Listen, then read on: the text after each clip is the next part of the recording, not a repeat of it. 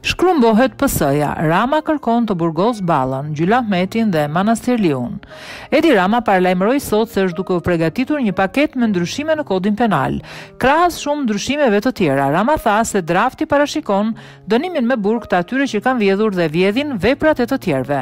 Rama u shpreh se i dëgjoj të gjithë ata që kanë krijuar vepra, teksa të tjerë pasurohen nga shfrytëzimi nga shfrytëzimi i pasurive të tyre. Kjo duhet të dënohet me burg. Është një vjedhje e hapur si çdo vjedhje tjetër.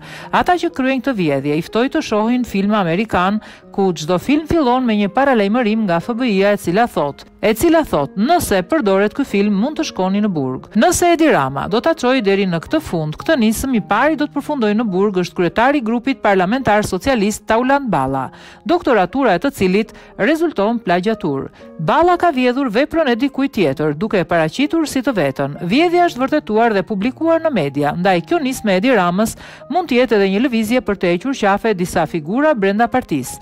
Pas Taulant Ballës në burg do të përfundojë dhe deputetja e PS-së, Blerina Gjylahmeti. Kjo e fundit është kapur në flagrancë duke vjedhur punimin intelektual të të tjerëve.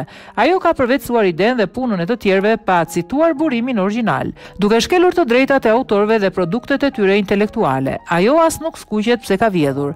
Madje vijon të japë leksione demokracie. Megjithatë, nëse Rama e ka seriozisht këtë nismë, Gjylahmeti shkon në burg bashkë me Ballën për vjedhje. Në burg do të përfundonte dhe ministrja e Shëndetësisë, Ogerta Manastirliu, e cila është kapur gjithashtu me doktoraturë të vjedhur.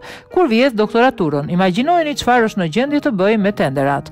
Nga ky propozim e pëson dhe ish-zëvendës ministri i Arsimit, Ervin Demo.